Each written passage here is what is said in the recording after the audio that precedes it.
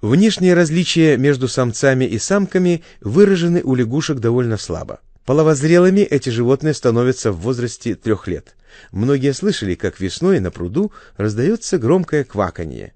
Это песня самцов-лягушек.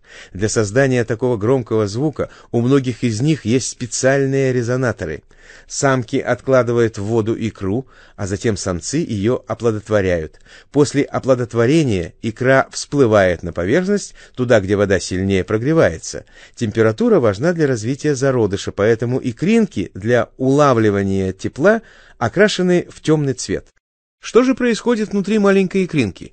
Оплодотворенное яйцо многократно делится, дробится, и уже через 8-10 суток после оплодотворения зародыш прорывает яйцевые оболочки, и личинка выходит наружу. Первоначально у головастика нет парных конечностей, и функцию органа движения выполняет хвост, окаймленный хорошо развитой перепонкой. Первыми закладываются передние конечности, но снаружи они долго незаметны. У головастика много схожего с рыбами.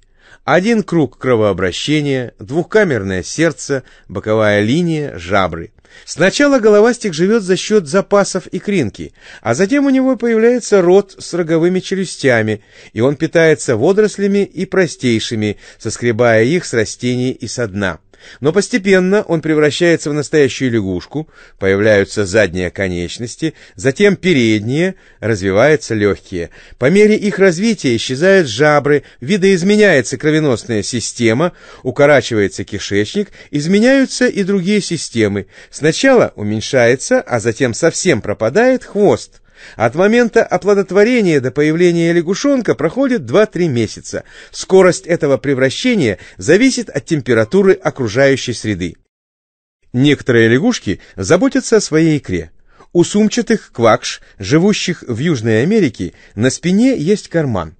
После оплодотворения самец помещает в него икру.